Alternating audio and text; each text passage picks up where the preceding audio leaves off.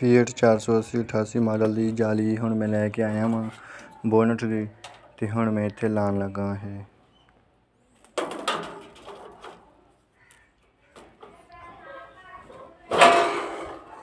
ਇਹਨੂੰ ਲਾ ਕੇ ਤੇ ਮੈਂ ਜੋੜਾਂ ਹਾਂ ਉੱਤੋਂ ਮੈਂ ਹੁਣ ਪੇਚਕਸ ਵਗੈਰਾ, ਗਲਾਸ ਵਗੈਰਾ ਚੁੱਕਾ ਤੇ ਇਹਦੇ ਨਾਲ ਹੀ ਕੰਮ ਹੋ ਜਾਣਾ ਵਾ। ਉਸ ਤੋਂ ਬਾਅਦ ਫਿਰ ਆ ਫੱਟੀ ਚੁੱਕਦਾ ਵਾ। ਇਹਨੂੰ ਇੱਥੇ ਰੱਖ ਕੇ